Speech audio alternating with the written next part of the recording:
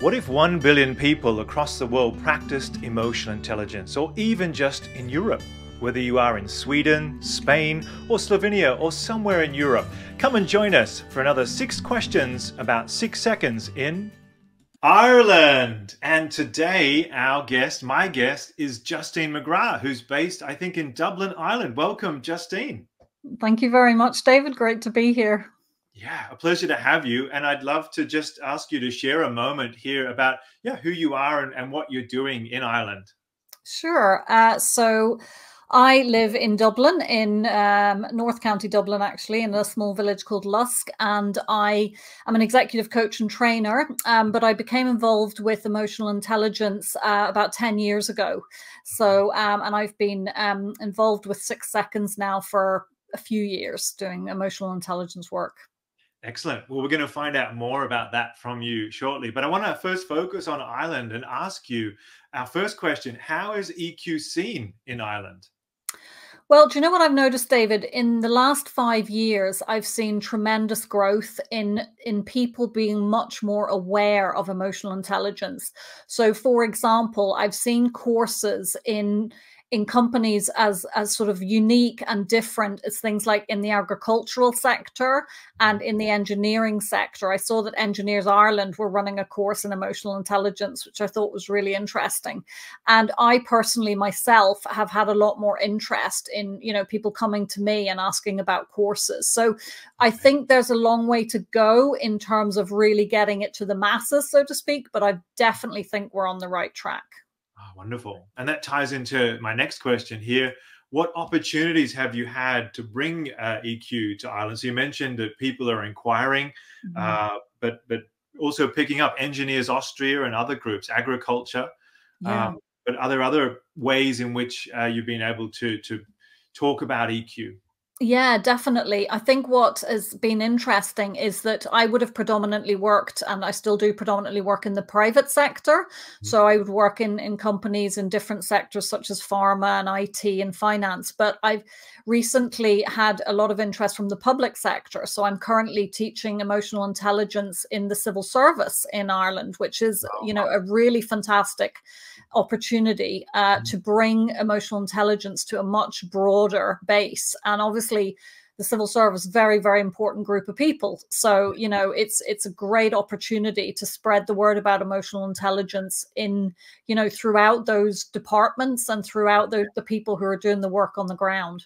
Oh wow. That's great. Is that through workshops and coaching and some keynotes and things yeah, so I would be doing predominantly training courses, um, and then in the pub in the private sector, I would do EQ coaching mm-hmm. and do sometimes I do um, speeches and write articles. It goes across a whole gamut of different things. Yeah, fantastic. Yeah, that's that's great uh, and uh, good for. I guess do you do you write only in English or is there anything produced in Irish? I've, I've I read oh. last year I saw a Irish around. This is where I'm going to shame myself now and say no. I definitely. I wish I could write articles in Irish, but no, yeah. I do not speak Irish. So no, not in Irish. I would love to be able to, and something I definitely should do.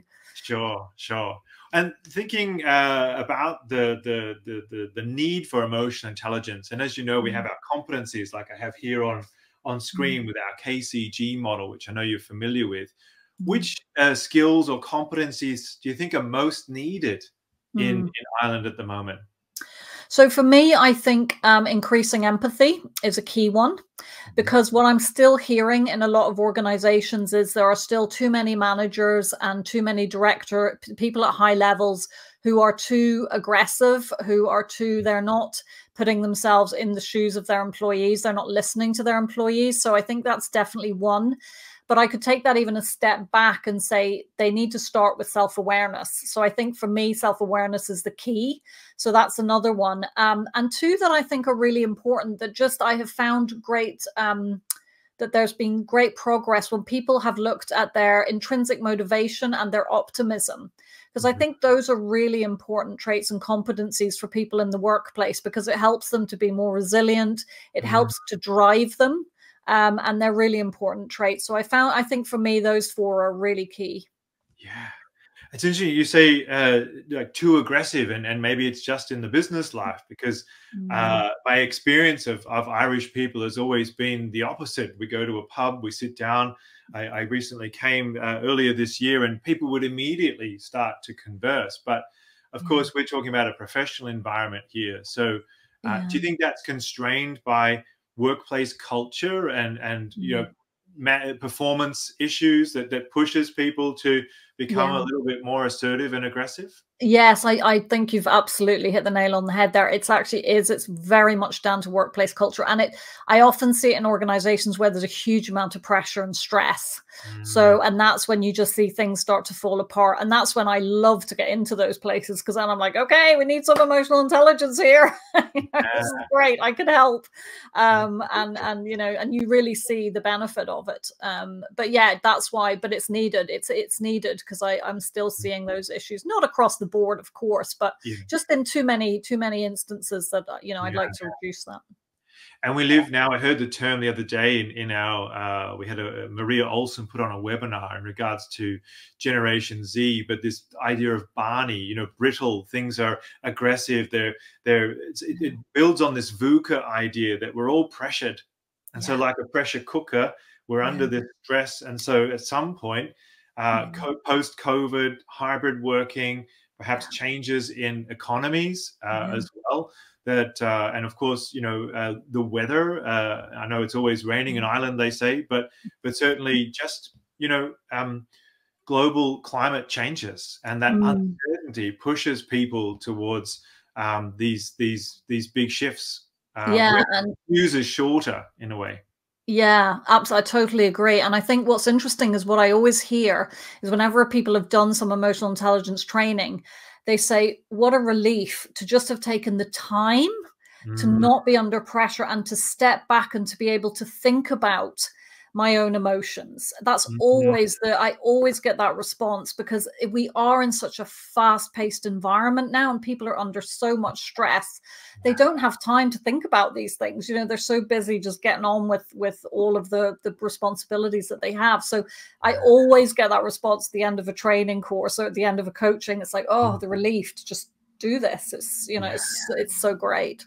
So we need need more people uh, doing that more often, I think. Sure. Which, which, ties in nicely to question number four, which is what is your favorite way to develop mm. your own EQ from what you have learned and practiced? And that that mm. may be other things, of course, that you've read or six seconds methodologies and materials. But yeah, mm. what's your own favorite way to enhance your EQ?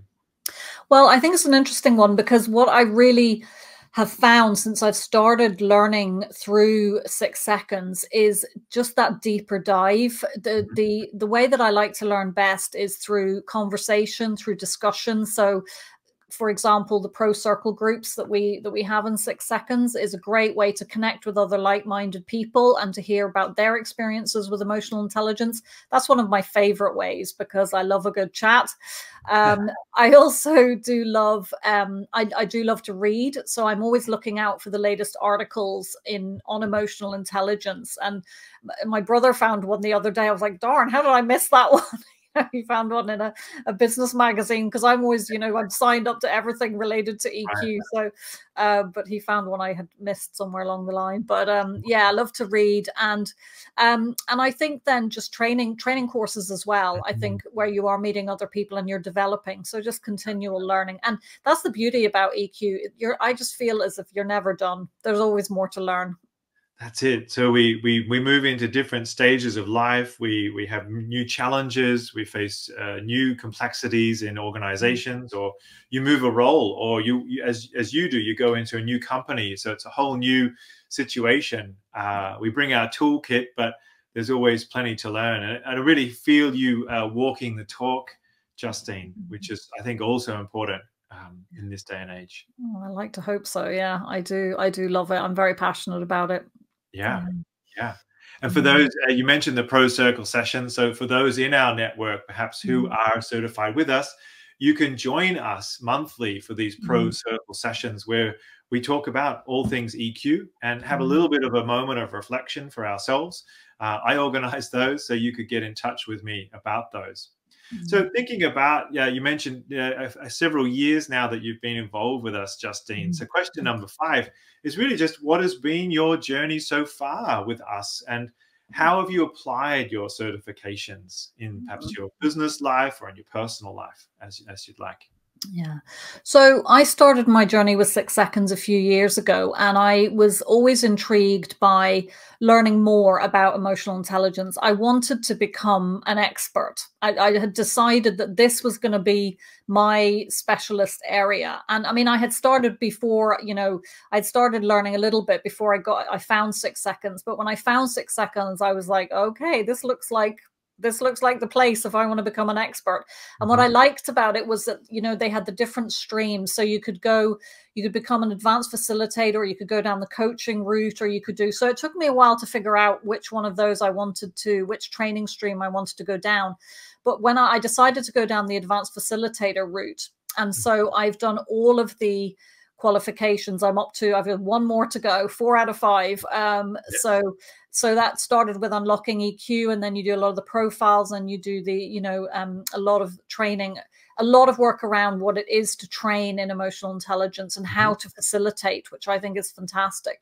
Yeah. Um, and I just love the fact that it's such a deep dive. The courses are very detailed and very in depth, and and you you boy, you don't just give certifications away; you make people work for them, which which is great because then you really know because yeah. now I'm confident. I feel confident because mm-hmm. I feel like I know what I'm talking about now because I've learned all of this and I've had to work for it. It wasn't just given to me. And that's what I love about it. It, it, it gives you credibility and it makes you feel confident in your ability to discuss emotional intelligence. So that's um, that's really been my journey, yeah, with with mm. six seconds. Um, yeah. And I'm just starting to really apply all of those qualifications now to to yeah. my clients. Yeah, so I guess a facilitator. You you mentioned you're a trainer, so it mm-hmm. probably aligns quite well in your in the yeah. training methodology that we impart to to help you be a, a, a trainer with emotional intelligence. Yeah, absolutely. with emotional intelligence. So yeah, uh, yeah, that's great. Yeah. For those who are interested, again, uh, our facilitator pathway is five steps, but uh, and and as Justine said, they each build on on the next. And mm-hmm. I too have taken that training. I finalized mm-hmm. my facilitator, uh, advanced mm-hmm. facilitator this year, in fact, earlier mm-hmm. this year. So completing one full path. But uh, mm-hmm. whether you're a trainer, a coach, or a facilitator, uh, there is something for you. And even in the more pure sense of facilitation, where we're talking about, uh, you know, mediation and meetings and so forth, is is really interesting. Yeah. Yeah, what's it's great. what's been your favorite course so far? The certification with us, Justine? Oh my gosh, that's I couldn't possibly pick a favorite. I I, I love them all. Um, I, I, I because they're all different, so I think yeah. that you get something different out of each of them. The funniest one though, I think, was the unlocking EQ because when they they said you have to you know you have to start with unlocking eq and i was a little bit arrogant i was like i don't need that i don't need unlocking eq i know enough about emotion you know i don't need the beginner yeah. course boy yeah. was i wrong i yeah. learned I learned so much on that course. And I think that possibly was maybe one of my favorites because I I actually discovered there was a lot that I didn't know that I mm-hmm. thought I knew just in the very first course. Sure. So uh, yeah, that was a that was a bit of an eye opener for me and yeah. put me back in my box big time. well, and I know that course in particular is designed really to unlock the six seconds universe. And as as now mm. you've you've said, you've taken that advanced pathway. So uh, it is an introduction, but it also allows you to work in our methodology to understand the viewpoint of six seconds. I often say it's about the language that we use, the definitions, the the way in which the learning philosophies interweave with the models, uh, and really create a sort of holistic approach to emotions in the workplace, in our personal lives, in parenting, in families situations as well. So um, it ties nicely. It's a really lovely comment you shared with our last question, Justine. What if the world, what would the world be like if 1 billion people practiced EQ? This is our, our real noble goal as an organization. So, you know, 1 billion, I, th I think we're getting closer each day. But what do you think certainly Ireland would be like if everyone practiced emotional intelligence oh my gosh it would it would be a very different place i think and i think it would be a much more empathetic place a much more empathetic world it would be a much fairer world. Mm-hmm. Uh, it would be a much kinder world and I also think it would be a much more productive world mm-hmm. because people would have the awareness. Uh, there wouldn't be they wouldn't be wasting time on uh, you know on on the, these behaviors that are that are not necessary because everybody would be aware of their emotions mm. and the mm. emotions of others. So yeah, it would. It's it's an amazing um, when you see the progress that people make when they start to practice emotional intelligence, you really want that 1 billion people in the world to have it because you just mm. think it, w- it would make the world so much of a better yeah. place. Changing lives, I guess, and having that ripple effect out into mm. the community. Yeah. Yeah. Yeah. Well, before we say goodbye and, and thank you really for being part of this uh, new series uh, here, Justine, I would like to offer you the chance. Is there anything that you would like the people of Ireland to know in terms of, uh, you know, what uh, would be uh, something that that you think that would be important for them to take away uh, in terms of emotional intelligence specifically for your culture? Yeah, what I would say is that emotional intelligence is not just a soft skill. It's an absolutely essential set of competencies and traits and skills. And it can be learned. It's not, it's not a fixed, it can be learned. And I highly recommend, highly recommend doing a course or speaking to somebody or just even reading, just even going on to, to, Google and find a book about emotional intelligence because it really can be life changing. And in terms of career and workplace, it will make you more productive and happier. And that's been proven. Great. So if people are in Ireland, uh, Justine, how can they get in touch with you? I know you're on LinkedIn. Yeah, they can find me on LinkedIn and they can find me at proactivecoaching.ie. So Great. proactivecoaching.ie. Super. Well, thanks for joining us, Justine, and we'll see you soon. Thanks so much, David. I really appreciate it. Thanks for watching this episode of Six Questions for Six Seconds In, and where will we be next time?